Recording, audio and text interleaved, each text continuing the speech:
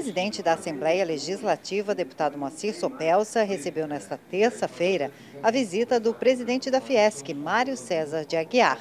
Mário César esteve no parlamento para cumprimentar o deputado que assumiu o comando da casa no início do ano.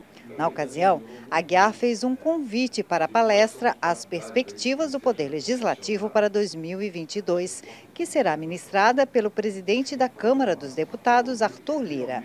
O evento, que é uma iniciativa do Conselho das Federações de Santa Catarina, acontece no dia 24 de março, às 6 horas da tarde, na sede da Fiesc, em Florianópolis. O deputado sempre foi um parceiro da indústria catarinense, defendendo os interesses de Santa Catarina logicamente, os interesses da indústria.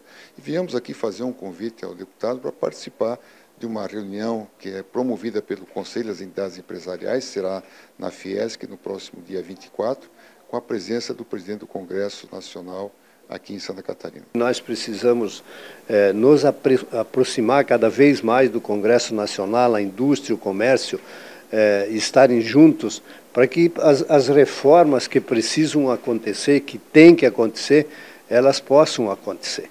É, nós não podemos mais viver sem uma reforma administrativa, sem uma reforma política. É, é, o, o, país está precisando disso. E, e, isso que falou o presidente é, da Fiesc também, dos investimentos do governo federal com o estado de Santa Catarina.